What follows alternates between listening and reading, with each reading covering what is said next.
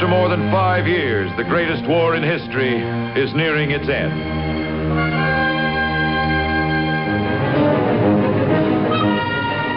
The Russians were only 35 miles from Berlin. In Italy, the Fifth Army pressed towards the River Po.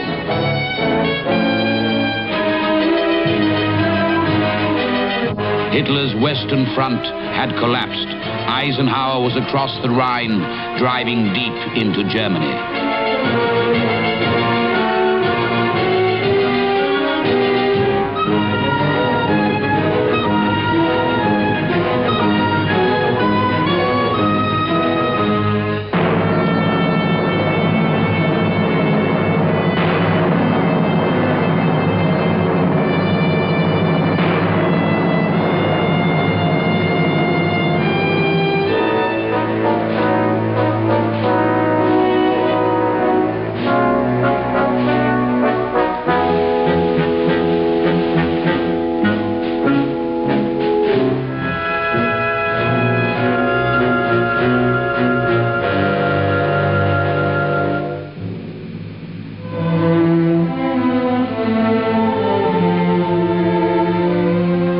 Millions dying in the Nazi concentration camp, already reduced to skeletons, the promise of life.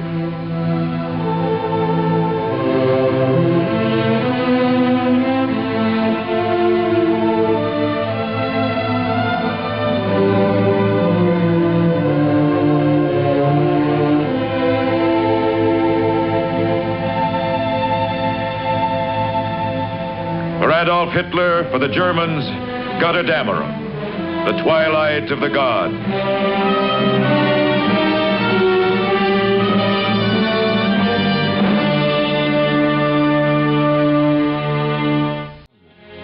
After the birthday congratulations, the more serious business of the day. The Russians are at the gates of Berlin.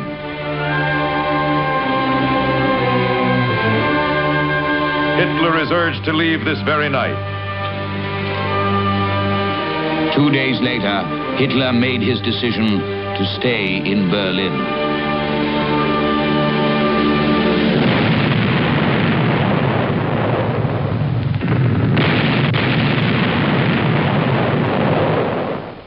Like Hitler, Mussolini seems to have kept his illusions until almost the last moment. Late in March, he had paid a final visit to his German partner. He returned buoyed up. But not for long. Allied armies are approaching northern Italy. On the evening of April 25th, Mussolini sets out from Milan for Switzerland to try to save his neck. With him is his young mistress, Clara Petacci.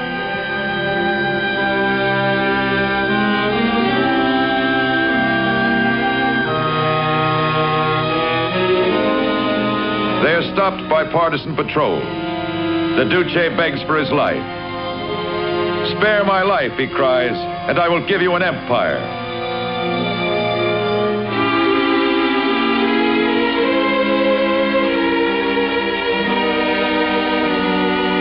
On April 28, Mussolini and his mistress are stood against a wall and machine gunned.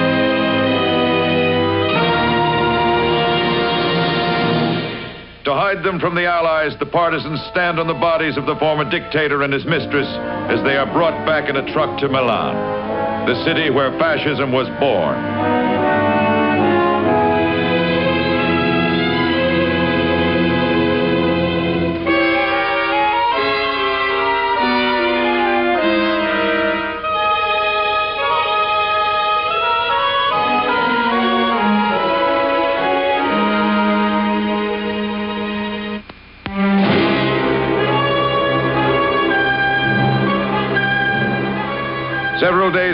Heinrich Himmler, the chief of the Nazi Gestapo, offers to surrender the German armies in the West, but only in the West. I spoke to President Truman. I told him the surrender should be to the three major powers.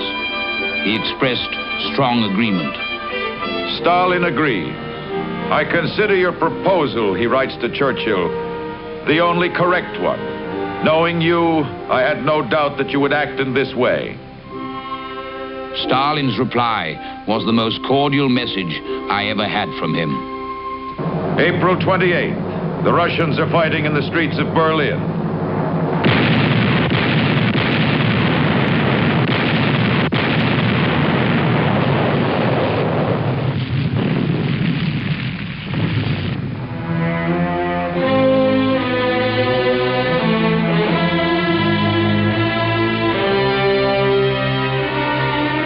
Down in the bunker under the Chancellery in besieged Berlin, Adolf Hitler refuses to believe that his thousand year Reich will come to an end.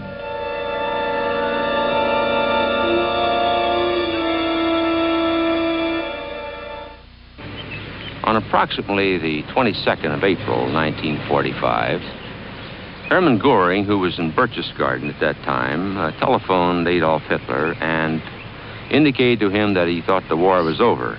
And if anything happened to Hitler, he, Goering, would take over as Fuhrer.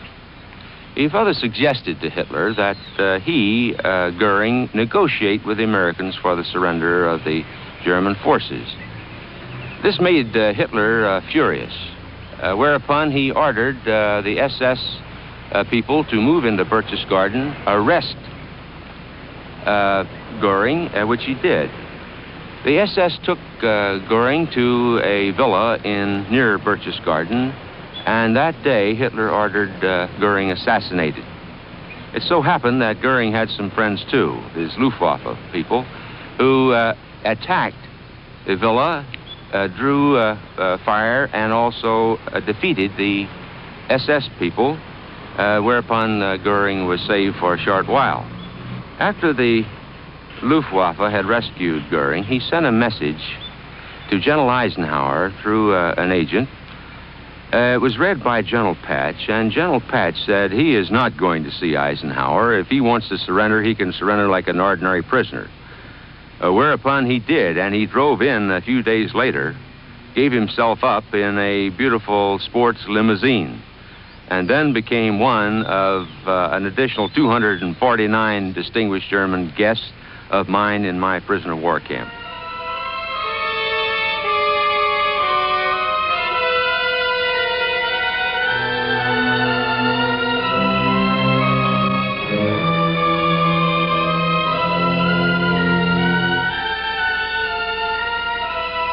In besieged Berlin, word comes that the Russians are but a few blocks away.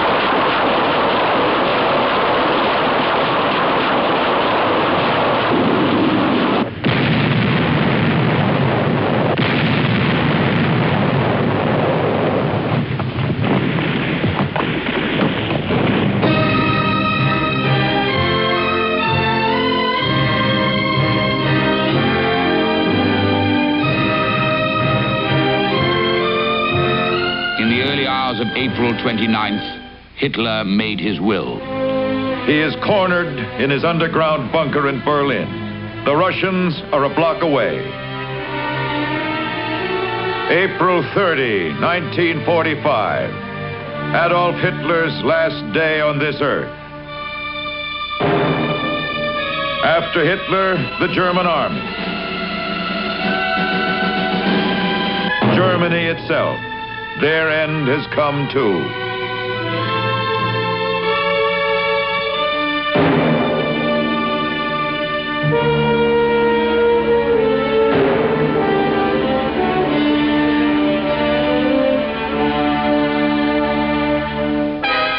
Hitler lunched quietly in his suite. At the end, he shook hands with those present and retired to his private room. At half past three, a shot was heard.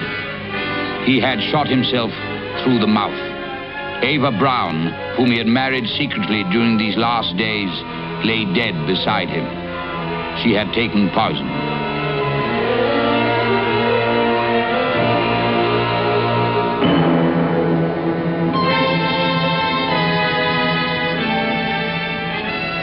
Time and date to remember. 3.30 p.m. Monday, April 30, 1945.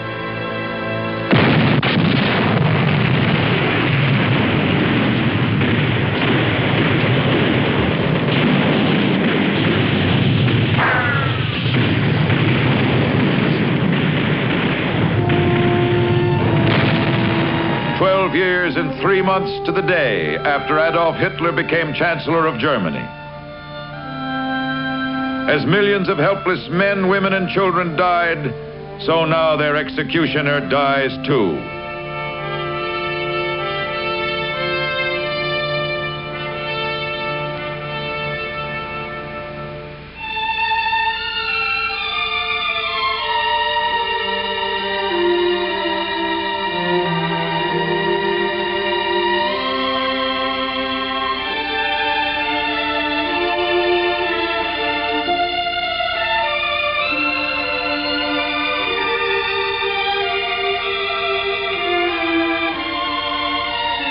Bodies were burnt in the courtyard.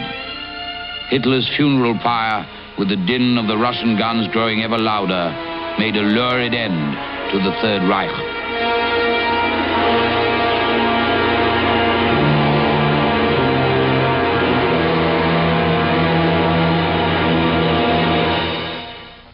Wars don't end on a single shot. In the case of the war in Germany, for days beforehand, we knew the end was coming. The German army in front of us was disintegrating. Soldiers were throwing their rifles away.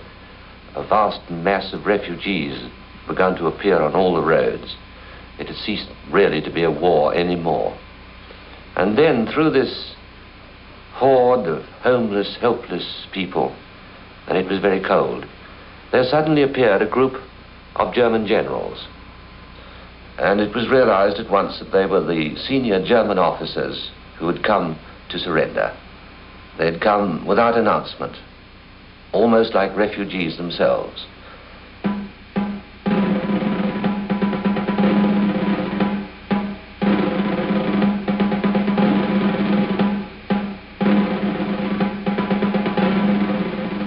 I was Chief of Staff at Supreme Headquarters of the Allied Expeditionary Forces during the time when these events occurred.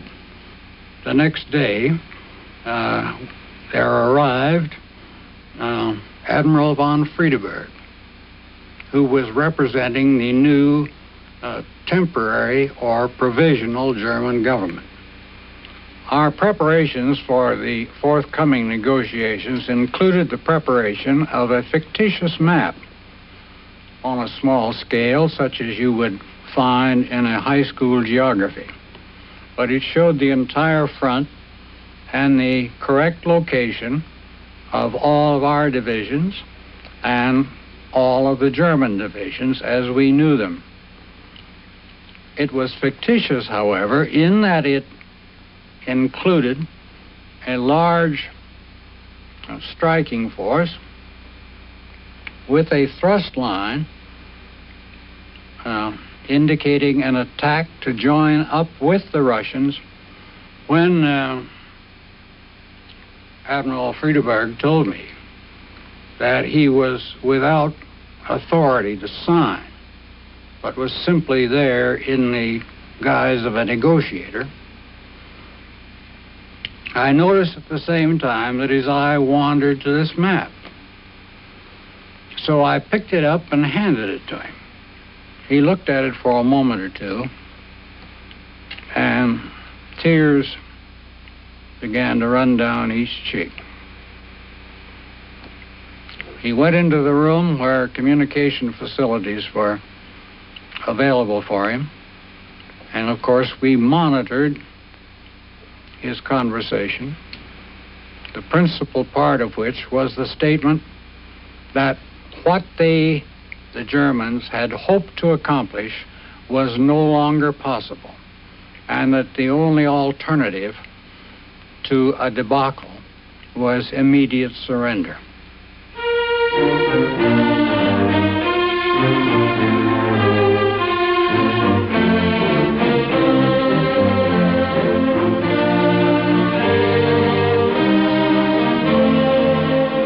Instrument of total unconditional surrender was signed by General Bedell Smith and General Jodl with French and Russian officers as witnesses.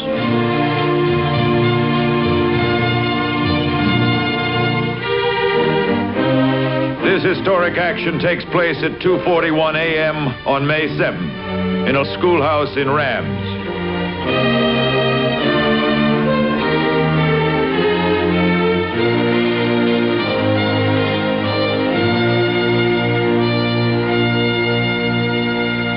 Hostilities will end officially at one minute after midnight tonight, Tuesday, the 8th of May.